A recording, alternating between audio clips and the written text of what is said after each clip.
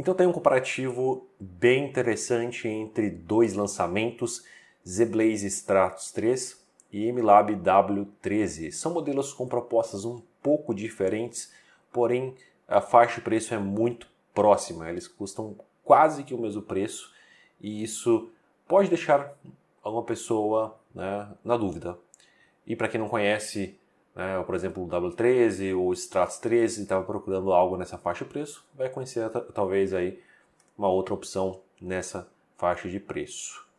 Na descrição tem o link de review de cada um, link de compra, tem também os links dos grupos no Telegram, com promoções, cupons. Além da promoção no canal, reta final, você pode ganhar aí vários smartwatches e um smartphone também, dá uma olhada.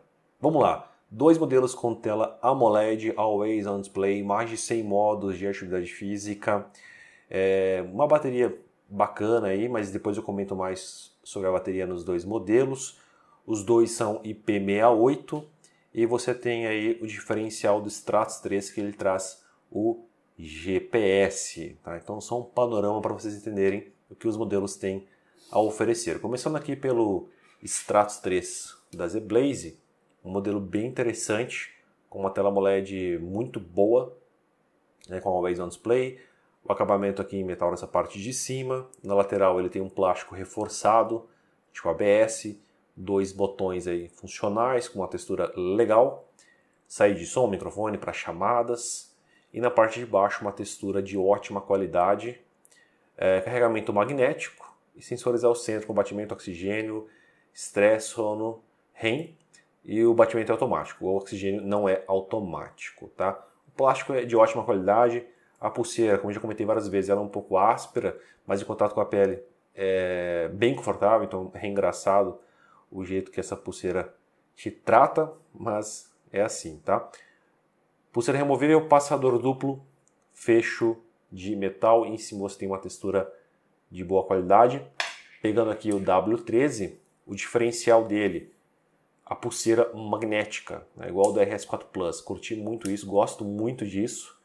Acho realmente um diferencial, fica bacana, tá? O acabamento também em alumínio.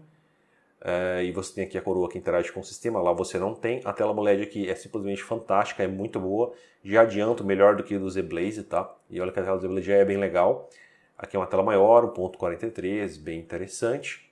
Corrigindo, as duas telas têm o mesmo tamanho, tá? Não sei porque na minha cabeça uma era maior que a outra, mas as duas têm o mesmo tamanho, beleza?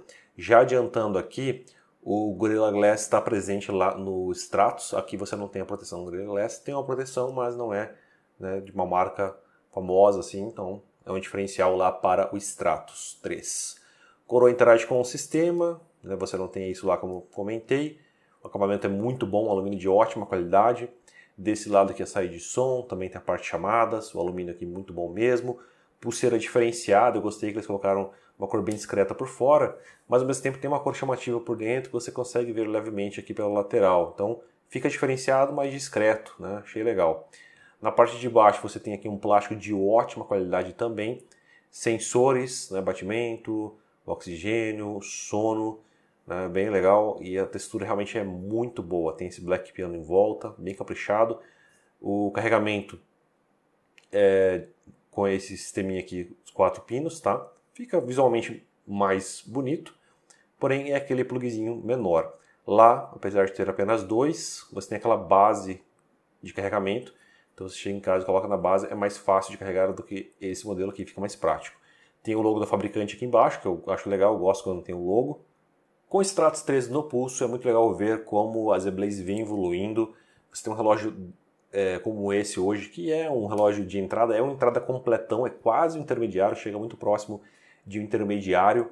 E, é, como falei, é bacana ver a evolução da marca. Tá? O produto realmente passa uma excelente sensação. Ele aparenta ser mais caro do que realmente ele é. Realmente ele parece ser um intermediário, né? um intermediário de entrada, se ele fosse um intermediário mas parece, isso é bem interessante. E isso fica comprovado quando você coloca o relógio, né? ele veste muito bem, tem uma ergonomia muito boa, bem confortável, uma tela que para a categoria é ótima, entrega uma qualidade interessante, um brilho bom, contraste saturação interessantes, uma resolução boa, a imagem a imagem você consegue ver com a nitidez legal em ângulos mais complexos, então o conjunto realmente é bom. Bom, com o W13 no pulso, é uma proposta realmente diferente, é um smartwatch bem minimalista, tá? Pessoalmente, eu sou mais fã desse tipo de relógio aqui, gosto de um relógio mais minimalista, um relógio mais fino, né? ele é mais fino aqui na questão da espessura, é, a tela não tem aquelas bordas é, altas, é uma coisa só, bem clean, bem limpo. Então, assim, me agrada muito esse design.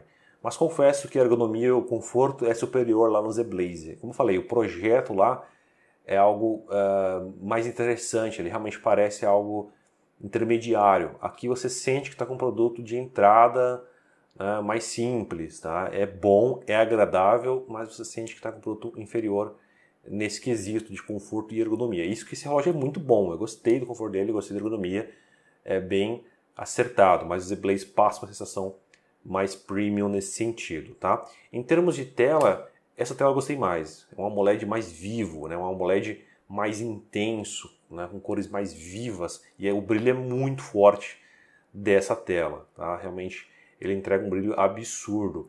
Você vem aqui na questão do brilho, está no mínimo o brilho e é mais do que suficiente. É realmente uma tela impecável, é um AMOLED de respeito, tá?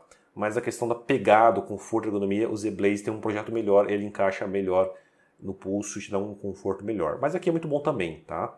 Aqui fica aí uns, uns 15% abaixo, uh, mas agrada bastante também.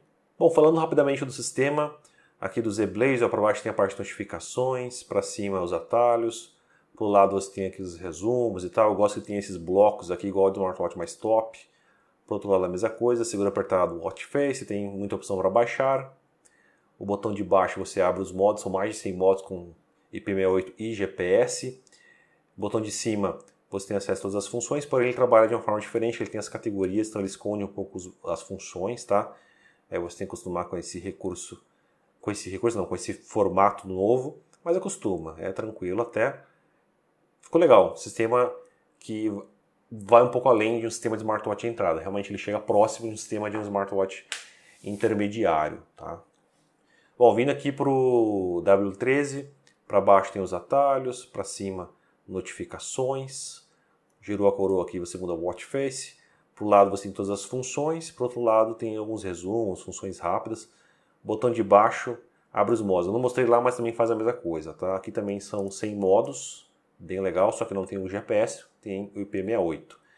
Segura apertado, troca o watch face, enfim, aquela coisa de sempre.